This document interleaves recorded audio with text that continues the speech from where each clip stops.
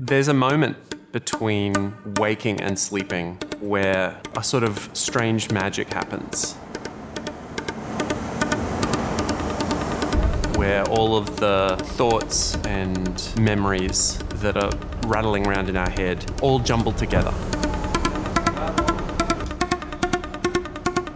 It stands in for what we think about when we think about transitions. They can be moments where we understand ourselves more and better. Wonderful, but also brutal and terrifying. With this show, I wanted to capture some of those transitional moments. I do different things with my flute. I make percussive sounds on it. I make air sounds on it. I give it a dramatic element, sometimes through lighting or even some light staging.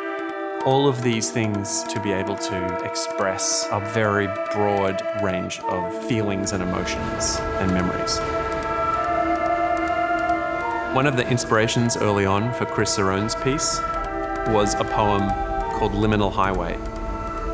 In it, a character falls asleep while on transit and in that moment understands a lot of things about their life, about where they are, and about where they're going and he's used all of the different layers of sounds to create this beautiful and unforgettable sonic landscape that uses the flute as its medium.